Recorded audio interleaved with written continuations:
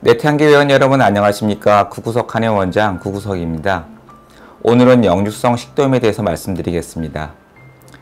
위식도 역류 질환은 위산이 식도로 역류하여 주로 안쪽에 타는 증상이나 속쓰림을 일으키는 질환입니다.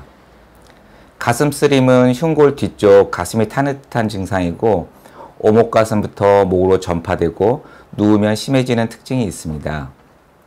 식도와 위는 하나의 관이 연결되어 있고 하부식도 괄약근이 밸브 역할을 함으로써 위에서부터 식도로 음식물의 역류를 예방해 주는데 여러 가지 이유로 항역류 장명을 하는 하부식도 괄약근의 기능이 약화되면 위 내에 있는 위산이 역류하고 또는 식도는 위산에 매우 취약해서 통증을 느끼게 됩니다.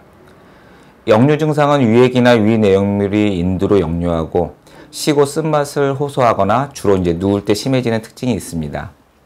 하지만 환자들은 다양한 증상들을 호소하는데 소화가 되지 않고 잘 체하고 배가 답답하고 싸늘합니다. 또는 이제 트림 마른 기침이 자주 나오고 음식이 안 넘어가고 헛구역질이 나온다는 비전형적 증상을 호소하는 경우도 많이 있습니다.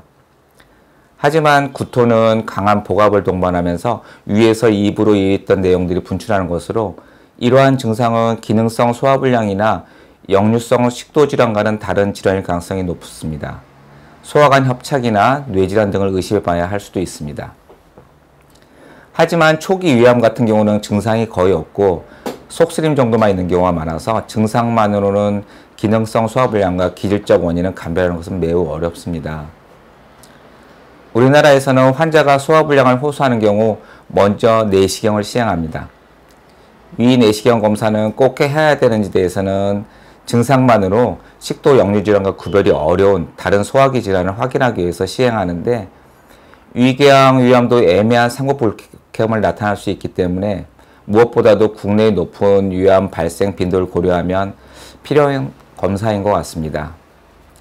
만일 삼킴장애, 출혈, 복부 종괴 빈혈 등의 경고 증상이 있다면 내시경 검사를 시행하여서 기질적 원인을 배제하는 것이 좋습니다.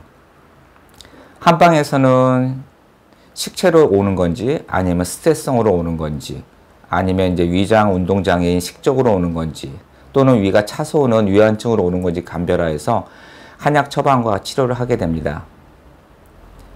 주의사항으로는 자극적인 음식을 피해야 하고 술, 커피, 탄산음료, 튀긴 음식, 기름진 음식, 초콜릿 등의 음식물은 하부식도 괄약근 압력을 낮추게 되어서 역류 증상을 악화시킬 수 있습니다. 또한 과식하지 않으며 음식을 섭취한 후 바로 눕지 않아야 합니다. 또 음주를 자제하고 금연하는 것도 중요하며 비만인 경우는 체중 감량도 도움이 됩니다. 감사합니다.